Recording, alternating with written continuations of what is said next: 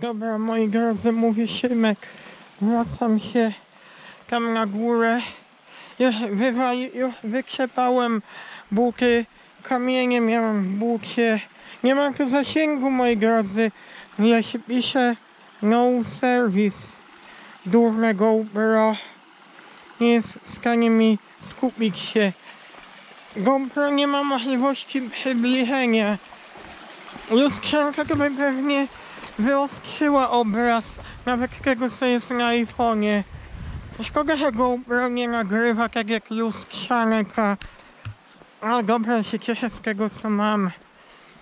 No dobra, idę na górę moi drodzy. Nawet mi nie jest za gorąco.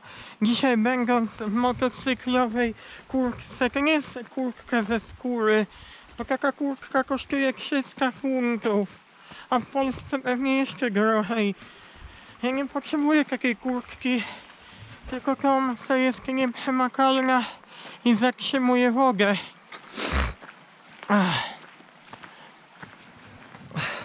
Nie wiem, bez sensu poszedłem sam. Ale dobra, chcę sobie po lesie pochodzić. No powiem wam, bardzo fajny zapach jest po tych deszczach.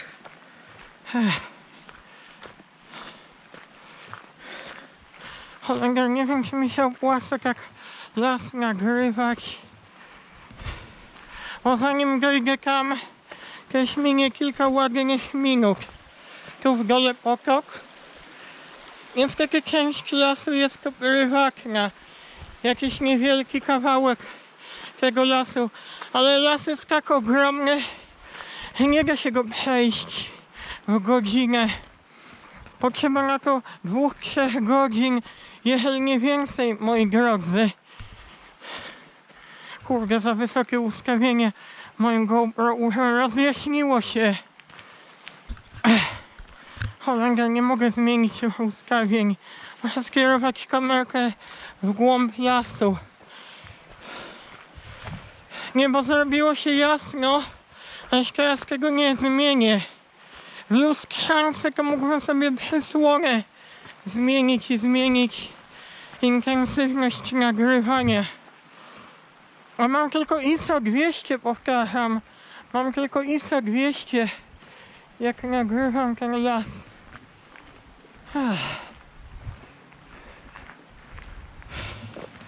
Kurde, szkoda, że nie ma żadnych ludzi dzisiaj. Myślałem, że ktoś będzie o tej porze. Kurde, dziwnie tak jakoś, dzisiaj nikogo nie ma.